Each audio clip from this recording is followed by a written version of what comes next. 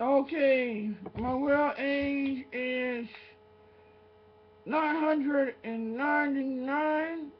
That's my demon age. But they saying I'm 45 in real life. But I don't know why they dropped me back down to 35 since I'm 45 in human time. But I don't even look it.